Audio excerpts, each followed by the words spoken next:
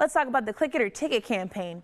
Now, Click It or Ticket campaign drivers in Sheboygan County are actually getting a head start on that annual campaign, and that's thanks to a state grant. This month, Sheboygan Sheriff's deputies increased patrol for unbelted drivers. Now, since April is Distracted Driving Awareness Month, they're also watching for any careless drivers as well. Surprisingly, it really isn't. Uh, it's really not that hard to uh, to find. A lot of people don't wear their seatbelts. More than 100 drivers died in distracted driving crashes across Wisconsin last year. Sheboygan Sheriff Deputy Josh Grunwald says on average he gives out 10 tickets a shift for unbelted drivers. Tyler Lamb always buckles up. He knows firsthand why enforcements like this are necessary.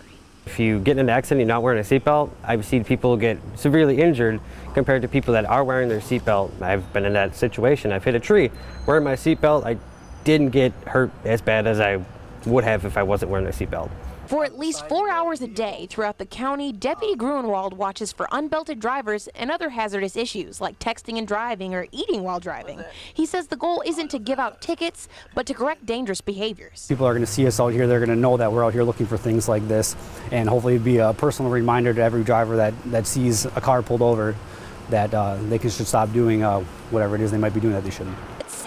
Is a newer initiative, the Sheriff's Department won't have official numbers on whether or not more drivers are buckling up, but deputies are hopeful for a change. Now, the Click It or Ticket campaign officially begins on May 22nd and then runs until June 4th. Now, to learn more about the campaign associated with the fines as well, head to our website at tmj4.com.